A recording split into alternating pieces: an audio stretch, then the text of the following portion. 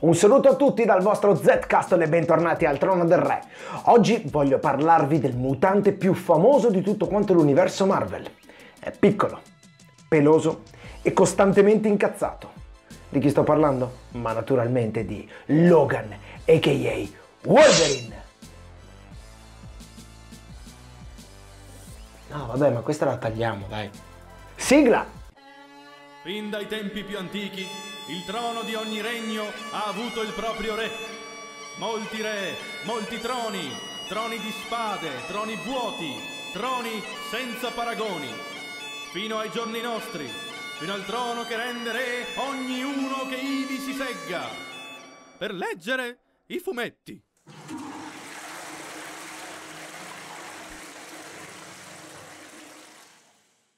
Il mutante di Adamantio nasce nel 1974 ad opera di Lin Wayne con i disegni di Herbert Triumph e John Romita Sr. In effetti, anche dopo la sua entrata negli X-Men, grazie al professor Xavier, eh, non si era ancora fatta luce su quello che era il suo passato, la sua storia, il suo vero nome. Abbiamo dovuto aspettare ben 17 anni prima che l'inglese Barry Windsor Smith ci raccontasse l'evento che ha dato veramente forma a Logan, a.k.a. Wolverine.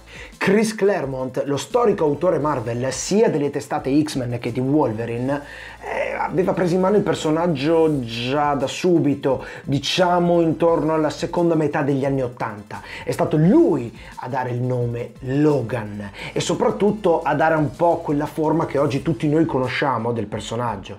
Però, sapete, aveva una idea molto precisa in testa, eh, un percorso ben delineato, ma divergenze artistiche lo portarono a lasciare la testata. Ed è proprio nel 1991 che entra in gioco Barry Windsor Smith, il quale fa tutto da solo, scrive e disegna e ci consegna una storia pulp, eh, senza sconti, una storia veramente cruda e potente. Raccoglie tutto quello che è il trend del momento creato da Frank Miller con il ritorno del Cavaliere Oscuro e tra l'altro una storia che più che sui dialoghi concentra tutta l'attenzione sui disegni, una graphic novel che è un vero e proprio dramma a fumetti.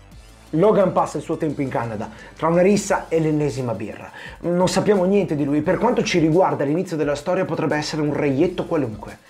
Un reietto che però non si ferisce mai troppo gravemente e che si rialza sempre. Ebbene, senza tanti preamboli, una sera qualcosa va storto.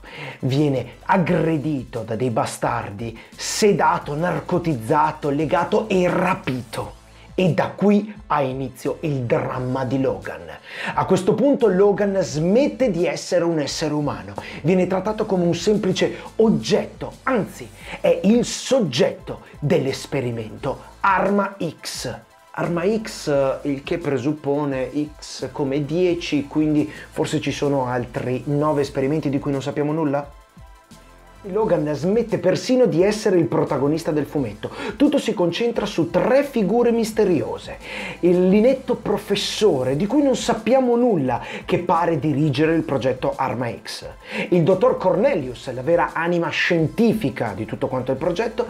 E Ines, la collaboratrice, l'assistente, tanto misteriosa quanto inadeguata in questa storia di tortura. L'obiettivo? Beh, Molto semplice, creare il super soldato perfetto grazie all'infusione con l'adamantio, ovvero il metallo più resistente in tutto il mondo e con una volontà totalmente azzerata, obbediente, perfetto, letale.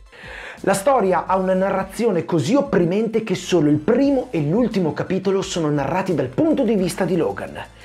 In tutto il resto del fumetto noi siamo degli spettatori inermi delle atrocità che il mutante del mondo Marvel subisce e delle terribili conseguenze che questo avrà nella sua psiche.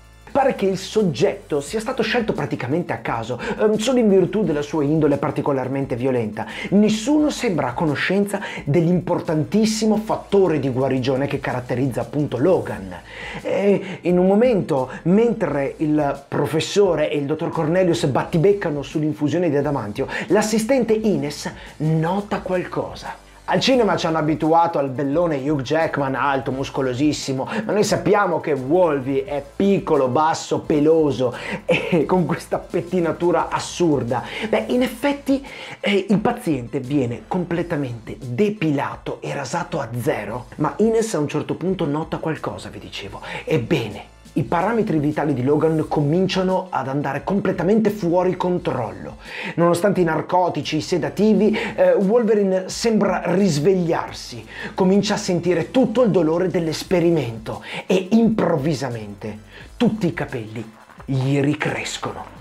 E una concentrazione insolita di adamantio avviene tra il polso e il palmo della mano è la fine dell'uomo, Logan, è la nascita della bestia, Wolverine. La bestia selvaggia deve essere tenuta in gabbia, deve essere eh, istruita, addomesticata, ma come sapete la natura non va d'accordo con la cattività, prima o poi si ribellerà. E in effetti le prime avvisaglie si hanno quando Wolverine comincia a reagire a un certo tipo di stimoli e purtroppo a farne le spese sono degli anonimi assistenti di laboratorio, delle guardie, ma si capisce, si intuisce che sta accadendo qualcosa, la bestia si sta preparando preparando.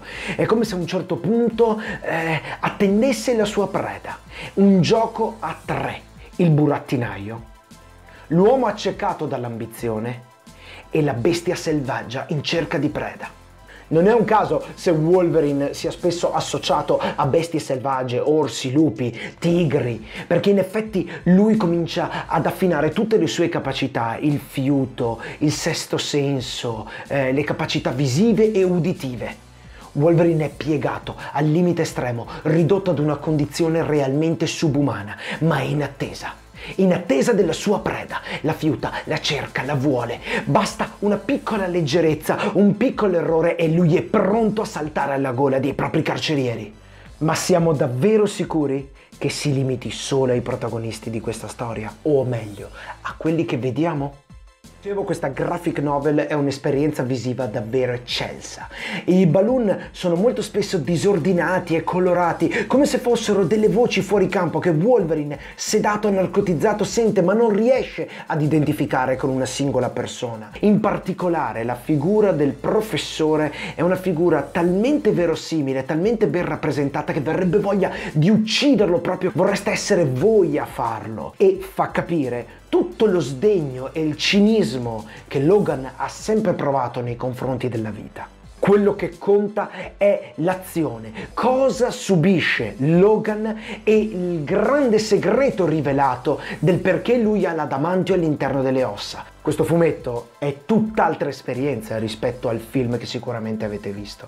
Qui è molto più crudo, è molto più drammatico, eh, si riesce all'interno delle pagine quasi a percepire il dolore che sente Wolverine durante gli esperimenti. I dialoghi sono essenziali, la trama è semplice.